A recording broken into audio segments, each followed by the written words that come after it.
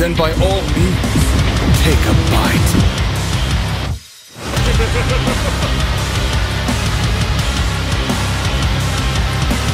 I'll show you my true power.